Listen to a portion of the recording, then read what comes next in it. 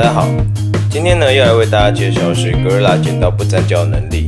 那不粘胶能力对于把文具剪来说，为什么这么重要呢？因为当你在使用文具剪时，常常会剪到一些胶带或等一些比较有粘性的物质，那这个时候就会让你的剪刀刀身上面会有残胶。那一有残胶的时候，它剪切其他东西就会发现有点不利。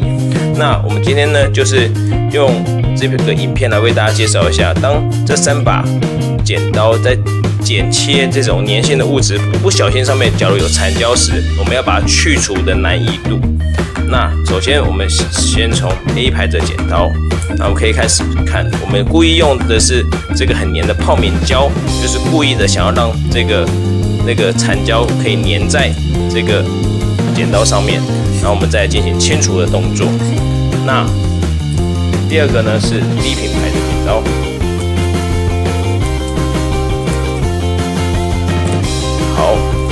接下来呢是 Gorilla 剪刀。那一样呢，我们不管是直直的剪，还是斜的剪，就是故意想要让上面有残胶，然后我们再做清除的动作。好，那我们接下来就要进行所谓的清除的动作。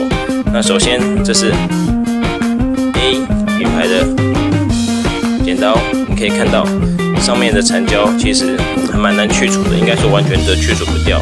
用一般的卫生纸来说的话，那 B 品牌其实虽然说它是有钛金属，不过其实就物理特性而言，钛金属的抗粘连能力还是没有 Gorilla 的这种铁氟龙的好。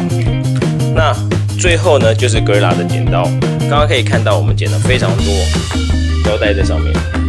看得到非常多的胶带，啊，一拿下来可以看到几乎没有什么残胶，然后轻轻一擦，完全一下就没有了。